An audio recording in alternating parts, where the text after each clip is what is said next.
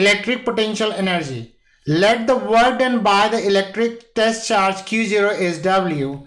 Then the electric potential is given as V is equal to W over Q0. Now V is equal to U over Q0 because work is stored as a potential energy. So we will write electric potential V is equal to potential energy over Q0.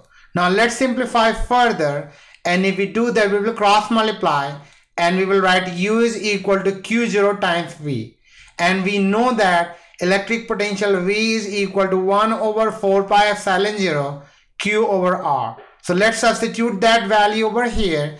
And if we do that we will write the electric potential energy is given as U is equal to Q times V. And my V is 1 over 4 pi epsilon 0 Q over R and if we simplify further we will write U is equal to 1 over 4 pi epsilon 0 Q Q0 over R and this is how we will define the electric potential energy.